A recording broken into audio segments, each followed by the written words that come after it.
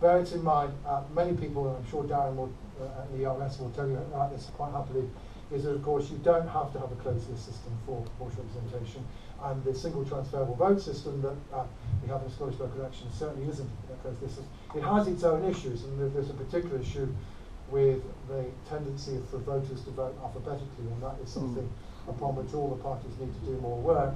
Um, but that isn't a uh, that isn't a consequence of uh, ordering by uh, the party. So, um, you know, if you don't like um, uh, list systems, well, that in itself isn't necessarily an argument against changing the system. And of course, some of us would argue conceptually the single member priority system is a closed party list system. Cool. It's a closed list of.